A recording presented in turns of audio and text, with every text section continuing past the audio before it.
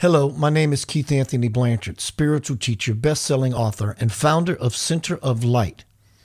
I now bring to you my new audio series, Center of Light Reprogramming, tapping into the source of infinite love, wealth, and expansion. The loving seed thoughts herein will be planted into the fertile ground of your subconscious and bring about your tree of life, that which you desire and deserve, in ways you never thought possible. Sit back, close your eyes, and completely let go. Being by yourself.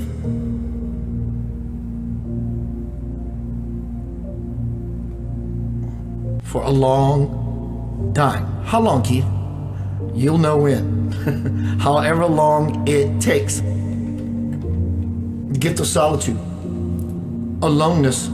Alone. Seclusion. Privacy stillness, peace, separation in this context.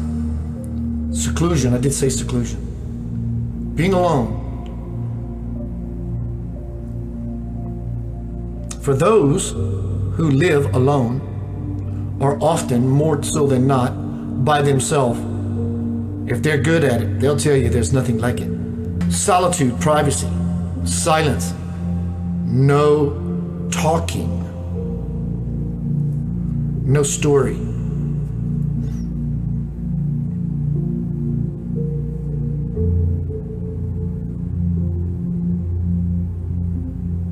A lot like that empty space I'm demonstrating. Be it working in your garden, playing a guitar, prayer, meditation, simply turning the world off. And I don't mean going into a meditation. I'm talking about being by yourself on purpose. That way you will be in purpose, in purpose. Purposefully, you will find yourself. But sometimes, when the noise gets a little too loud in the world, and we get addicted to the world or a person,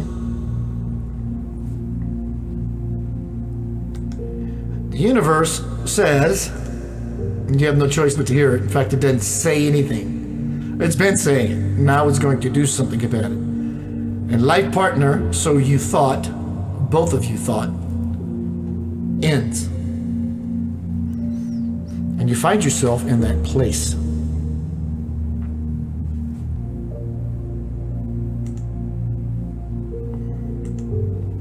And that place, I've been there for two years. It's not fun.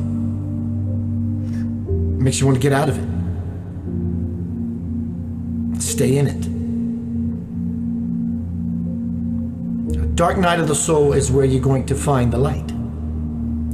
So, what darkness is it? It's not a darkness that you're really in, per se. It's you. Scared, alone, afraid, broken.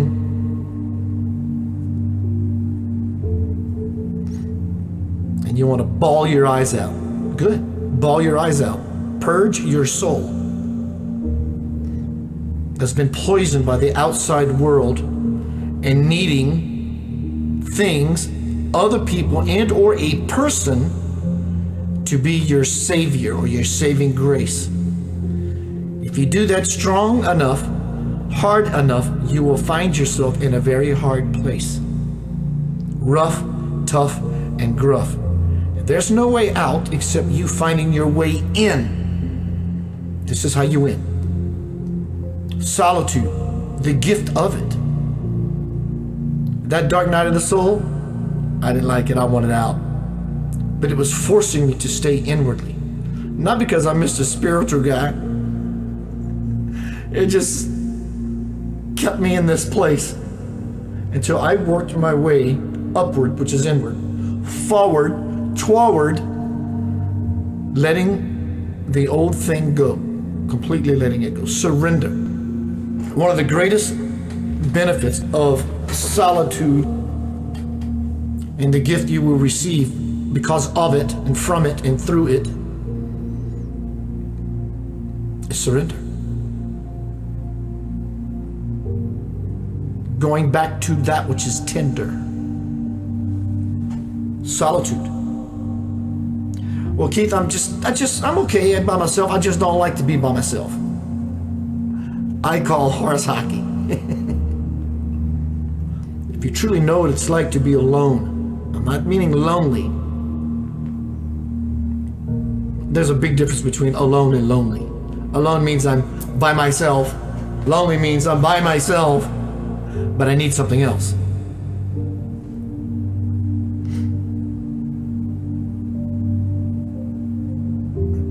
Reflect inside. You can do it in this moment. How often are you alone? Maybe start going out a couple times a week, whatever, whatever is your way, and go do something you've been wanting to do that's not busy. It's important that you're not busy. It's about me. Me. If I don't have enough money in my checking account, if I write a check to someone because I want to do a good deed, a good deed indeed is not what's going to happen because the check is going to bounce. It's temporary. So only when we become the permanent fixture can we permanently fix ourselves into a better possibility.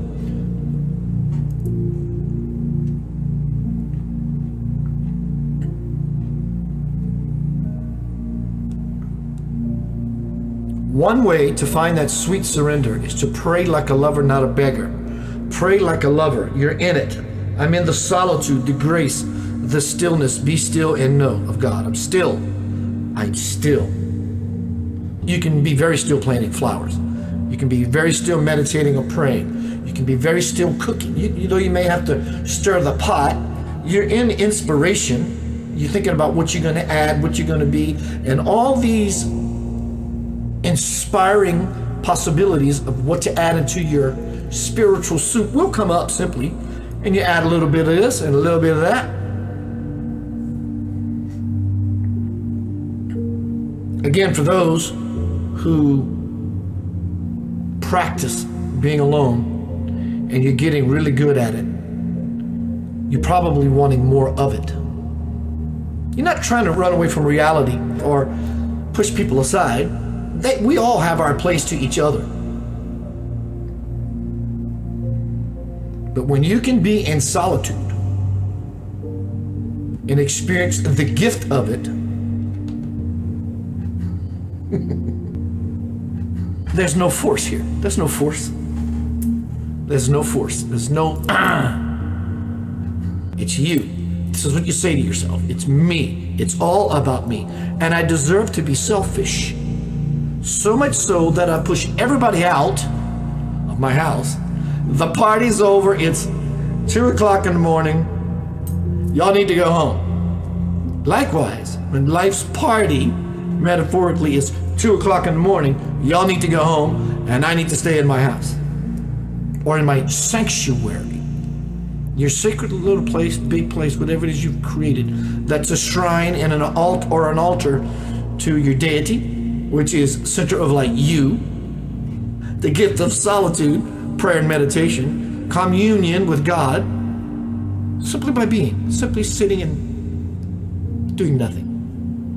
Or doing something, but there's not a whole bunch to it. You're truly involved, but there is no force. In such subtlety, people think it takes muscles and might and bombs falling out of military aircraft and they call that power. That's not power at all. You want to look at real power?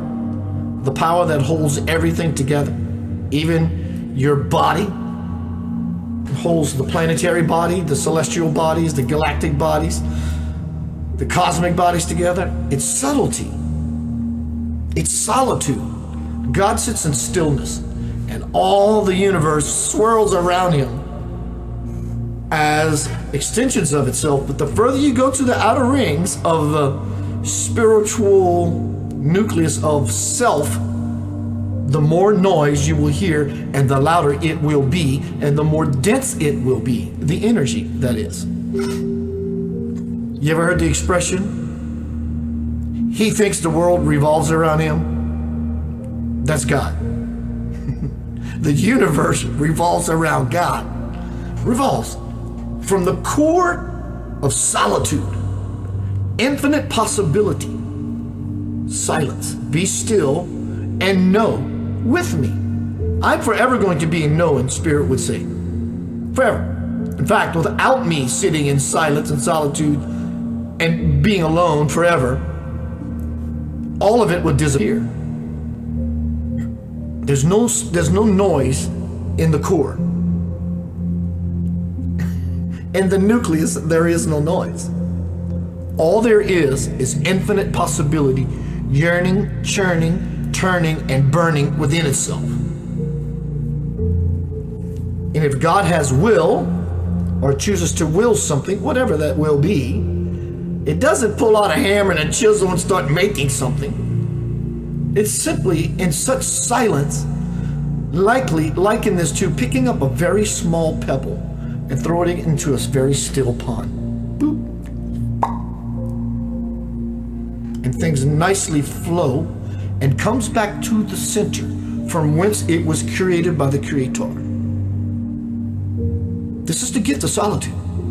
It's powerful. It's quiet.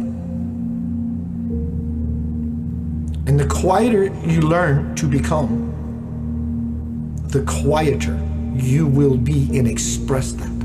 So much so, some people may start missing you because in such a way you've become invisible to them. They might be used to hearing you talk or chiming in and you could be sitting right there next to them and they not, may not even recognize you because they're expecting the you that they know you to be to be chatty. And that's not you anymore.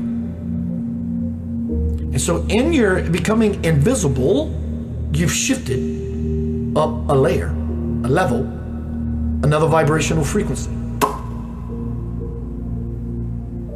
It's a multi-layered onion for sure. there is a very significant power that is you. It doesn't belong to you. It is you. You just don't know that you have it. I'm still learning, but I'm accepting mine truly. I'm loving the solitude. Pretty much my whole life I've been alone, except the 10 years that brought me to the dark night of the soul, where I learned experience integrated the gift of solitude.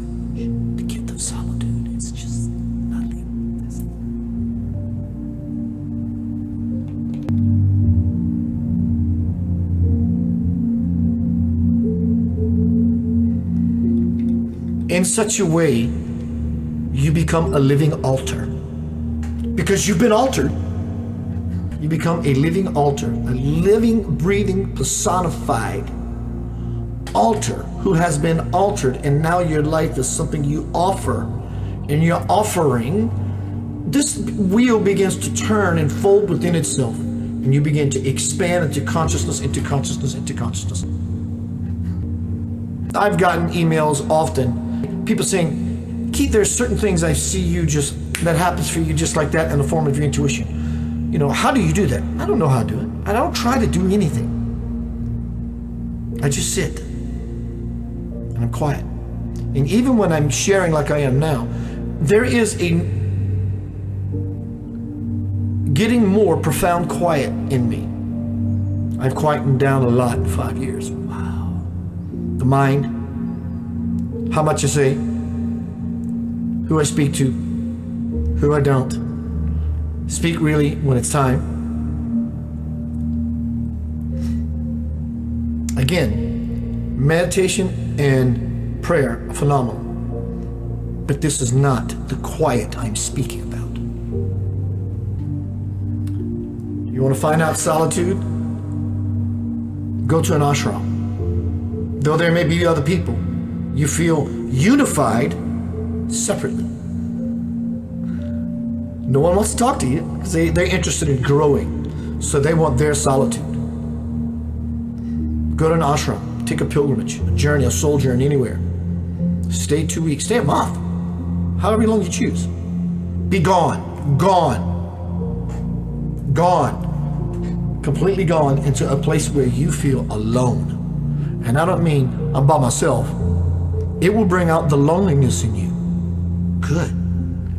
Well, Keith, I don't feel like being lonely. Yes, you do. If growth is what you want, you need to dive your ass into the loneliness and then find yourself in it, then the nightmare is over.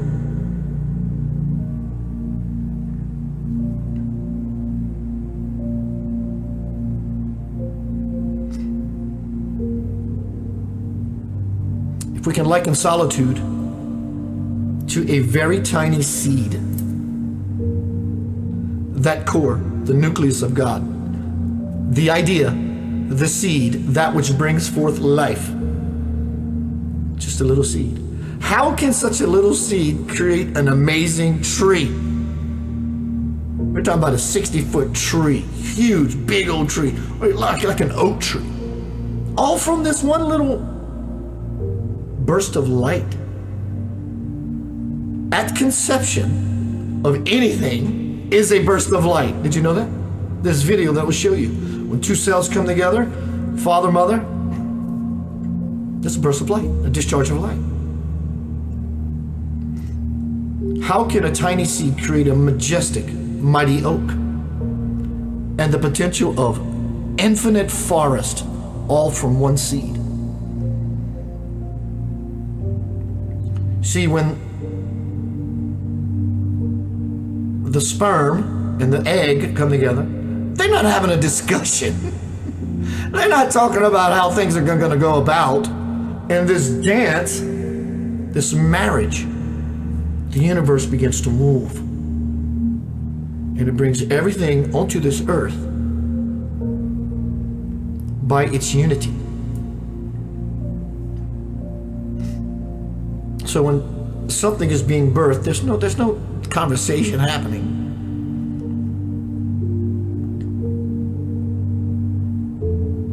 Most of the time, when you're with a life partner and you're having a really good moment, you'd probably agree it's not about speaking. You can just be in this kind of music, candles and incense, just laying in bed, hands behind your head, whatever you're doing, and just being in the space of another. There's no talking happening solitude. And if you can have solitude with not only yourself and other people of solitude minds and hearts come together, the level of silence and the gift of it graduates over and over and over with every solitude attitude person that's together. That's why if you get on an ashram and everyone is in their silent space, which means you do your thing, I'm gonna do my thing. This is about my dialogue, my samadhi with God. But when you all go to the temple and you go into solitude or prayer and meditation together, thousands of you, you begin to hear the silence. The silence gets so loud it almost becomes deafening.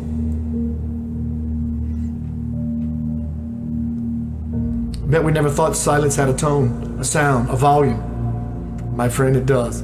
Because you're hearing it with a whole new skill set.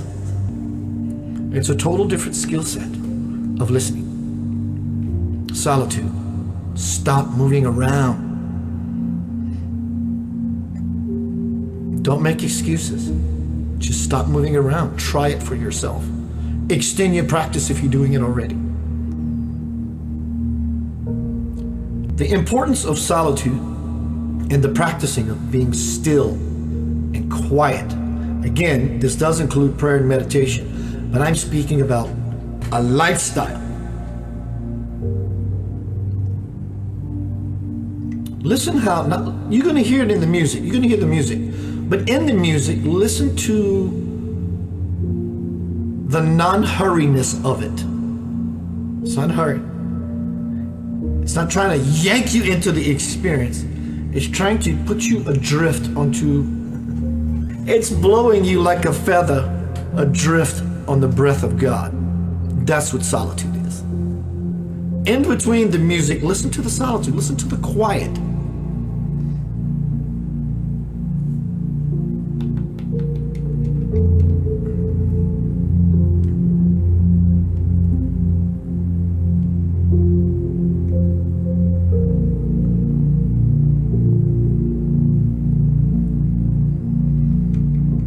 What you have or will experience in such a place, everything is possible. And if it comes up into your consciousness or into what you would call your mind, then it's possible. No matter what you think it is,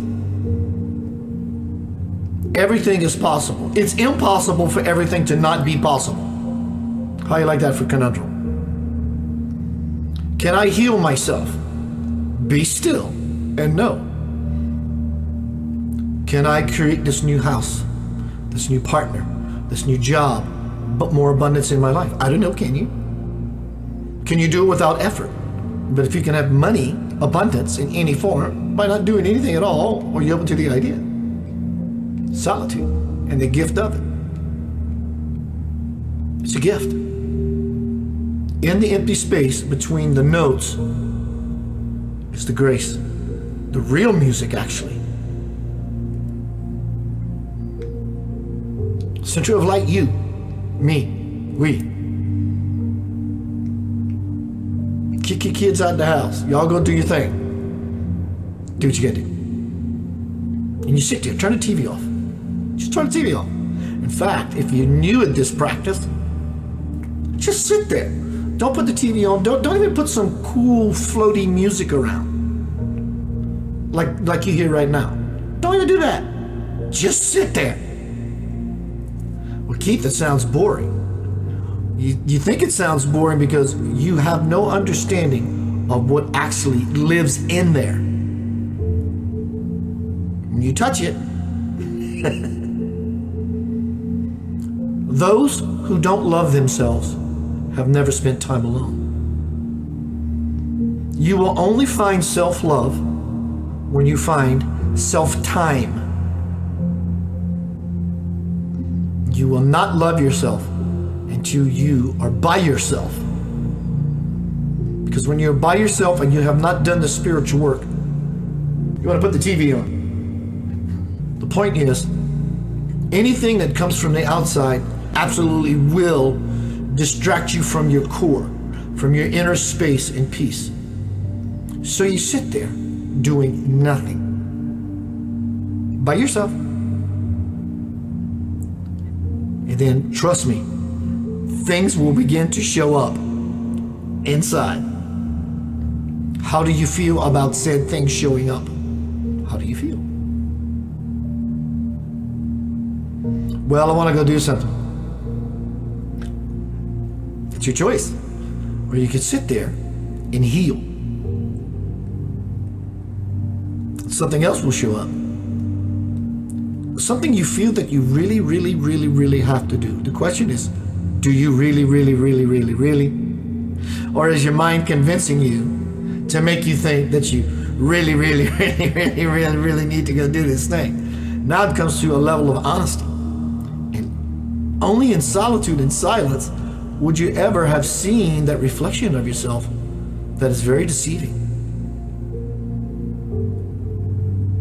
It's about receiving the grace, the gift. So, what does this gift look like? It doesn't have an appearance at all. You can't touch it. You can't touch solitude. You can't. It's not something that you can just grab. You can't grab solitude. You can't. You can't even see it. But guess what? You can touch it, and you can see it. Do you want to touch it? Do you want to see it? Elaine says, Yes, I love it for sure. And things do show up when I'm just being. And as you sit still on your couch, on your chair, or just lie in your bed, when those things show up,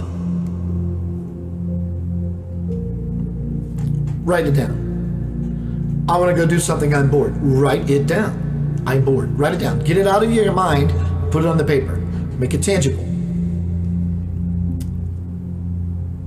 I miss my friend, so and so. Let me give him a call. Write it down. You will start seeing where you are attached.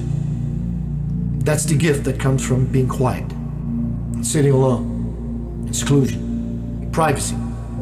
Privacy in the UK. Just be quiet, sitting there. Self evaluation. You will feel your body, you will feel your digestive tract, you will feel your heartbeat, you'll feel your, the blood as it courses through your veins. It's magical. Then you really get to play, and it plays with you back. So, what is this thing? It's not a thing. How do I achieve it? You don't achieve it. There's nothing you can do to get there. So, what's the point of all this if there's nothing I can do to get there? That's the point. You don't do anything to get there. You be still. You just sit there. You have to go to the store and you have to do something. Turn the world off and go do your task. Stay in the space of quiet. Someone speaks to you that you don't know and they're just saying, Hi, ma'am. Just look at them and say it. You to speak. Speaking is phenomenal, it's a gift. We project outward, so there's a lot involved in dialogue, beautifully so. But when it comes to a spiritual practice of solitude, per se, it's not allowed. If you truly want solitude and altitude.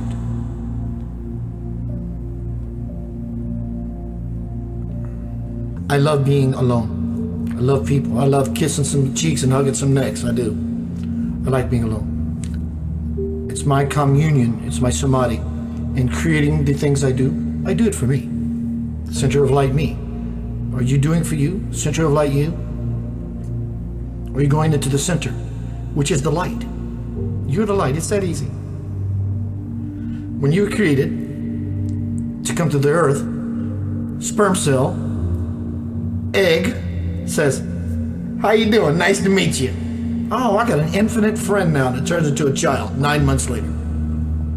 There's no conversation happening, but something powerful.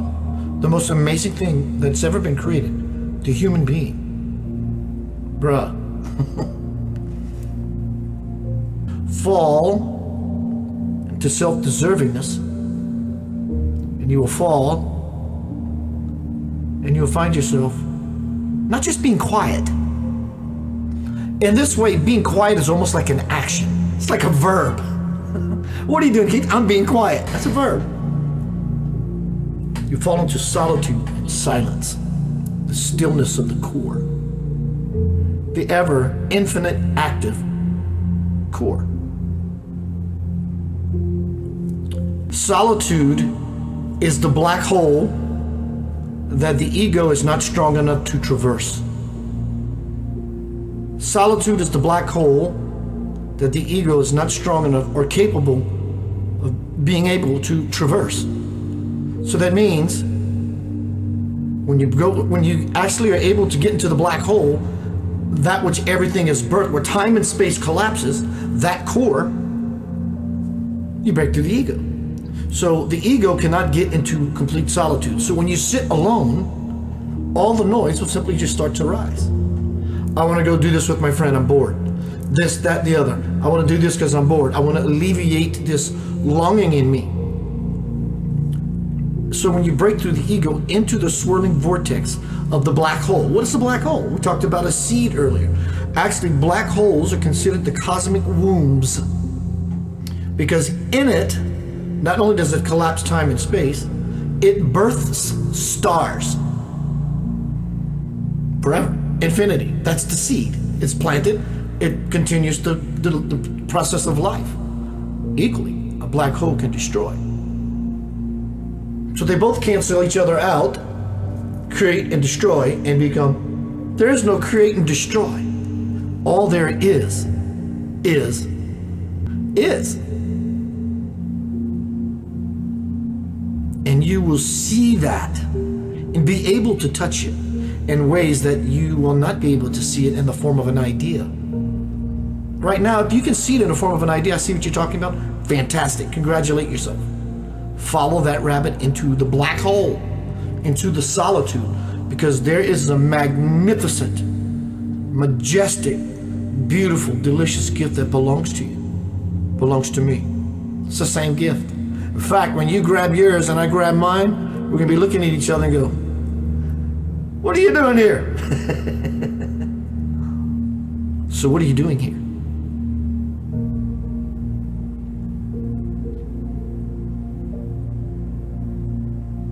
Meditation and prayer is beautiful.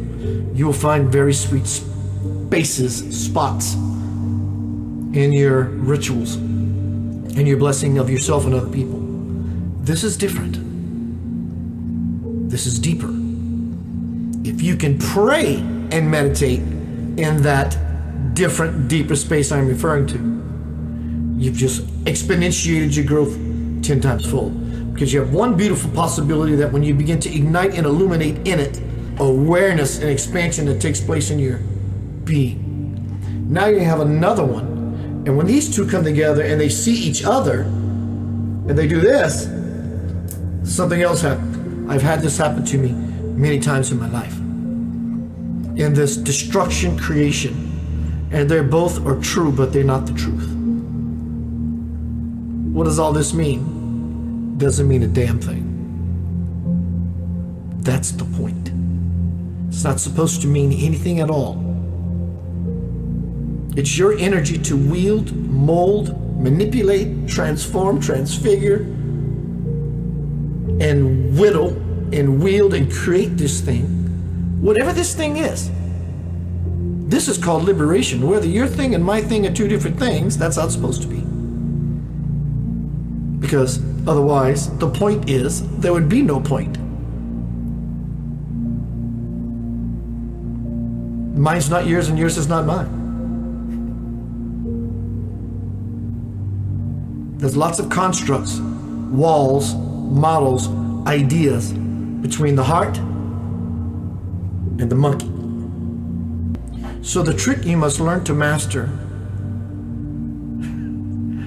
is to reach down from your mind and up to your heart.